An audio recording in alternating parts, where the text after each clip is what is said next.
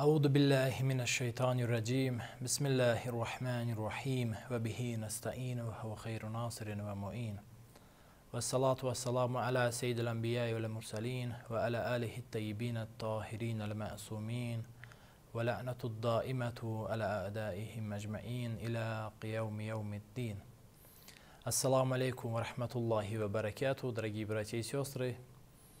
Продолжаем наши уроки, посвященные вопросу медиалогии. На прошлом занятии мы начали рассмотрение вопроса о втором атрибуте Всевышнего, о знании.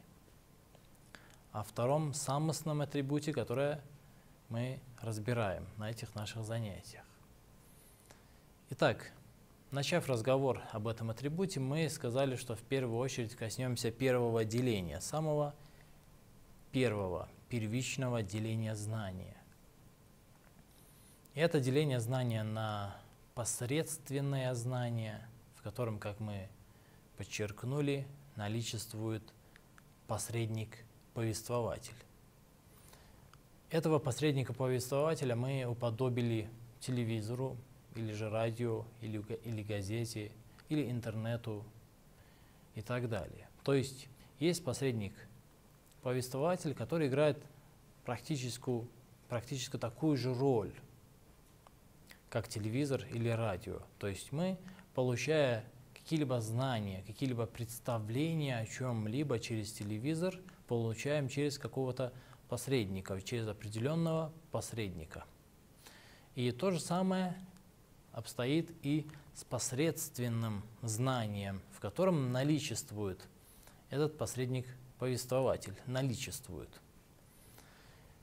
Мы также говорили о том, что коротко, но все же сказали о том, что этот посредник-повествователь настолько качественный, что самого посредника-повествователя мы не наблюдаем. Мы не видим его, мы не замечаем.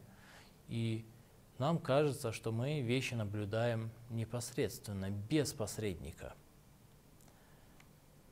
Все пять чувств, через которые мы познаем окружающее, являются, по сути, посредственным видом познания. То есть, например, когда мы что-либо лицезреем, мы познаем через посредственное познание. То есть здесь наличествует посредник-повествователь.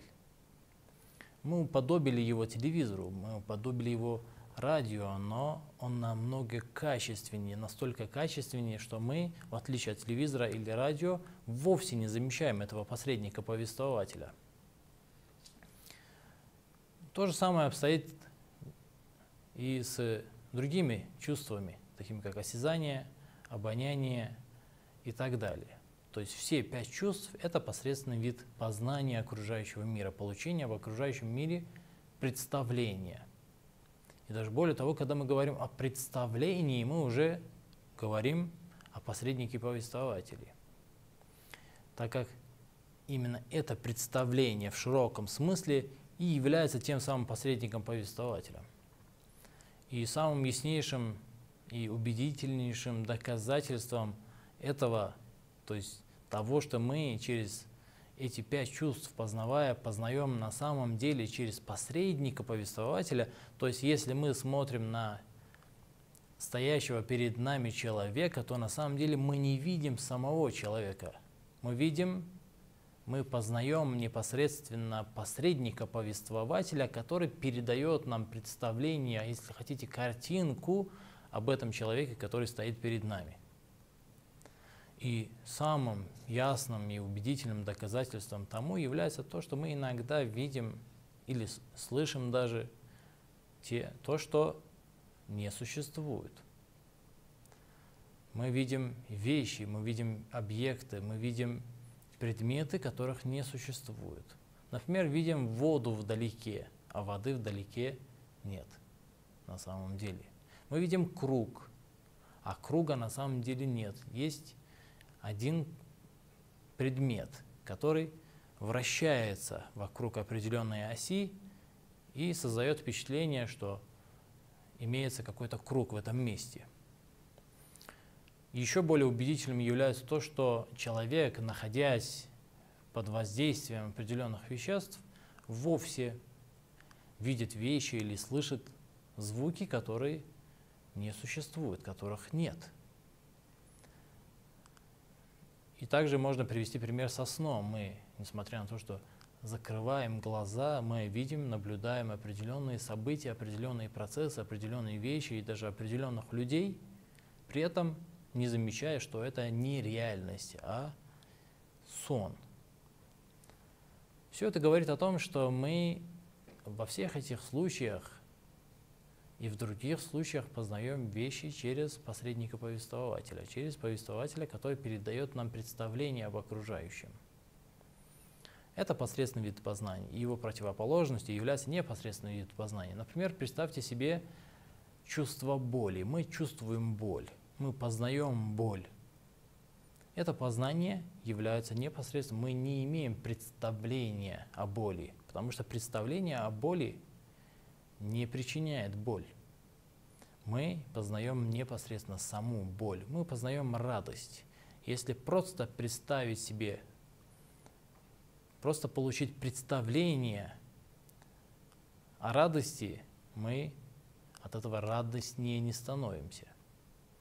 Поэтому такие переживания, душевные переживания, как радость, страх, боль, голод и так далее и тому подобное, все это познается, это является примером непосредственного познания, в котором отсутствует посредник, повествователь. Итак, доказательством посредственного познания было то, что человек ошибается. Ошибается в том, что видит, ошибается в том, что слышит и так далее и тому подобное. Ошибка возможна только тогда, когда имеется посредник между человеком и объектом его познания. А если никакого посредника нету, то есть на самом деле, если говорить более предметно, нету представления о вещи, а познается без этого представления сама вещь, как, например, боль, радость, печаль и так далее, то в данном случае ошибка просто невозможна. Поэтому посредственное познание доказывается через ошибки, ошибки в познании, потому что ошибки возможны только тогда, когда имеется повествующий и повествуемое. И отсутствует соответствие между повествующим и повествуемым. То есть повествующий не совсем точно, не совсем правильно передает то, о чем он повествует. Это как если бы телевизор передавал бы картинку искаженно. Например, вы видели бы на экране своего телевизора человека в зеленой рубашке, но на самом деле оказалось бы, что в студии сидит человек в красной рубашке или в синей рубашке, например. И в посредственном познании ошибка происходит именно таким образом. То есть этот посредник-повествователь не совсем точно, не совсем правильно, не совсем соответствующее повествует о предмете своего повествования. Повествование, я часто использую это слово, необходимо понимать его в широком смысле. А доказательством непосредственного познания является то, что бесконечная цепь причин и следствий просто невозможна. Мы ранее говорили об этом, когда доказывали единство Бога, когда доказывали существование Бога, мы говорили о том, что бесконечная цепь причин и следствий невозможна. Итак, посредственный вид познания является причиной знания. То есть, если человек знает что-либо о земном шаре, например, то он узнает об этом через посредника. А если бы этих посредников, то есть посредник в данном случае является причиной этого знания, этих представлений. И если бы их было бесконечное, то есть если бы каждый из этих посредников-повествователей познавался бы сам также через другого посредника-повествователя, например, вы имеете представление о земном шаре. Но как вы познаете это свое представление? Конечно же, непосредственно. Здесь уже отсутствует посредник-повествователь. Если бы посредник-повествователь был бы необходимостью во всех видах знания, и здесь также мы наблюдали бы посредника-повествователя, который также познавался бы через другого посредника-повествователя и так до бесконечности, мы никогда не получили бы представление о земном шаре. Многие виды знаний были бы нам недоступны. Но это не так. Мы очень многое знаем, мы имеем большой объем знаний, информации. Очень многое мы себе можем представить. И все это говорит о том, что все-таки бесконечная цепь, цепь причин и следствий здесь в данном случае отсутствует. И как следствие имеется посредственное познание и непосредственное познание, то есть два вида познания. Таким образом доказываются эти два вида познания. Имеются два вида познания. И, конечно же, они между собой очень сильно отличаются. Отличаются, в во-первых, в том, что посредственный вид познания, как мы говорили ранее, порой бывает ошибочным. То есть, познавая через этот метод, через этот путь что-либо, мы можем ошибиться. Например, зрительные образы, звуки, вкусы, запахи, холод, тепло, мягкость, твердость. Все это познается чувствами. Пятью чувствами и может быть ошибочным. Мы можем увидеть то, чего на самом деле не существует. Как если бы вы взяли бы, например, камень и завязали бы его веревкой и крутили бы, то видели бы вы только круг, а не камень.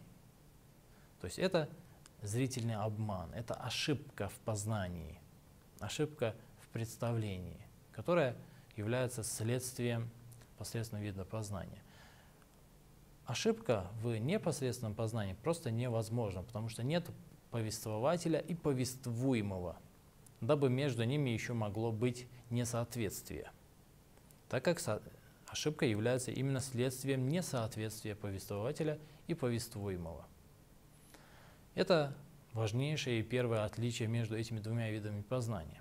Второй вид познания, второе, вторая особенность, отличающая посредственное познание от непосредственного, это то, что непосредственное познание, оно качественно другого уровня, оно имеет совершенно другое качество. То есть оно намного качественнее.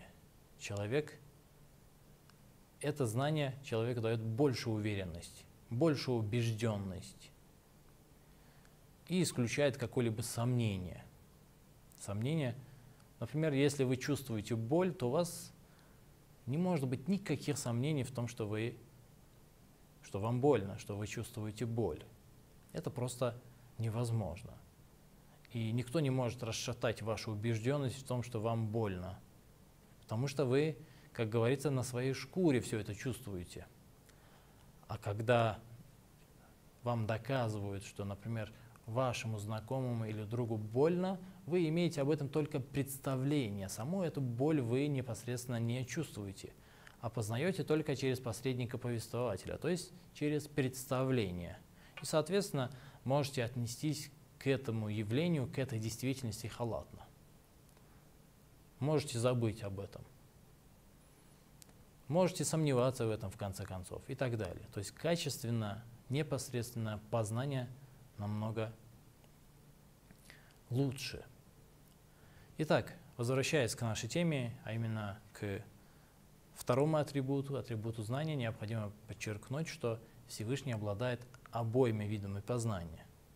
И как мы говорили на прошлом занятии, это дихотомическое деление, то есть двучленное деление, когда мы говорим «отсутствует посредник-повествователь и наличествует посредник-повествователь. Отсутствует и наличествует.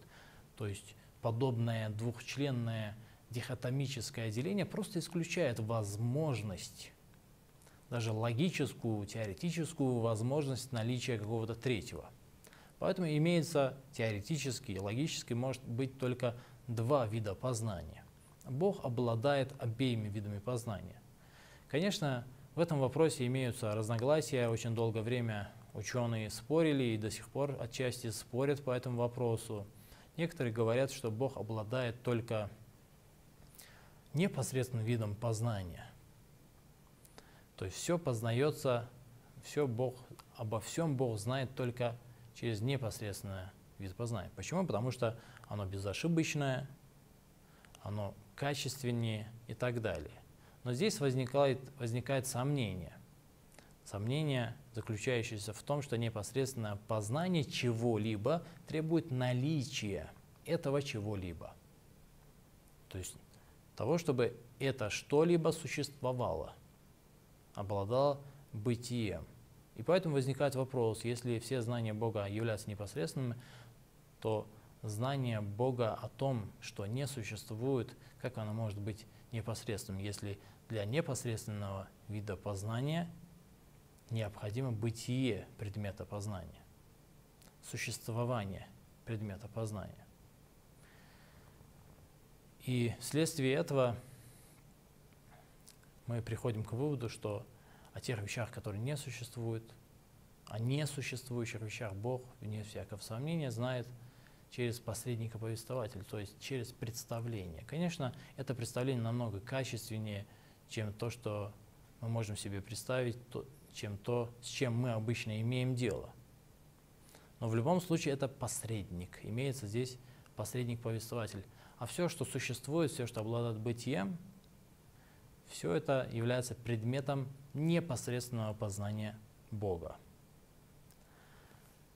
На этом наше занятие подошло к концу. Я прощаюсь с вами. Вассаламу алейкум ва рахматуллахи ва баракатуh.